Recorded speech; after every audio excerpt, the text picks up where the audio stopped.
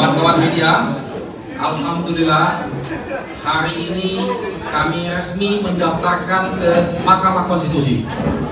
Kami sudah melakukan melalui online jam 1 malam tadi dan pagi ini kami beserta tim hukum semua lengkap didampingin oleh Kapten timnas kita yang kita banggakan Kapten Shogi kami hadir di Mahkamah Konstitusi untuk melengkapi semua berkas-berkas yang diperlukan. Naskah kami intinya adalah permasalahan e, pencalonan wakil presiden, calon wakil presiden di 02. Dari awal proses tersebut bermasalah dan lanjutan masalahnya luar biasa.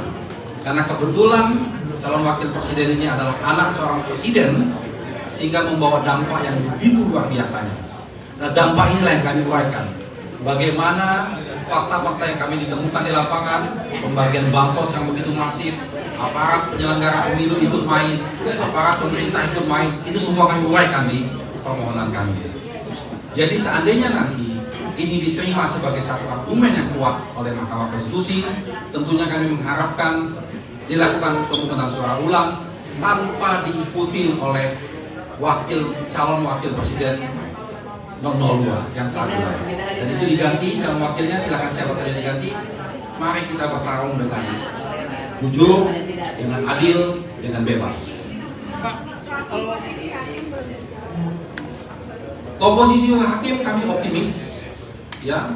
Karena kita melihat bahwa uh, pimpinan yang sekarang ini pimpinan yang punya track record yang baik yang bagus dan beliau kemarin pada waktu putusan kasusnya 90 sudah menunjukkan sikapnya ya. dan juga ada dua hakim yang baru yang darah segar dan yang tahu juga track recordnya baik jadi insya Allah kami optimis dengan hakim-hakim yang ada di Mahkamah Konstitusi berapa lawyer Pak? bukti-bukti yang disinggung sama Pak Ari tadi. Pas saat oh, di sini apakah ada bukti yang dibeberin atau pas saat pendaftaran di sini bukti-bukti apa saja yang dibeberin atau gimana? Iya, bukti-buktinya sudah kita masukkan semua lengkap. Nanti di, ketika di persidangan akan bisa dilihat. Berapa lawyer Pak? Berapa lawyer?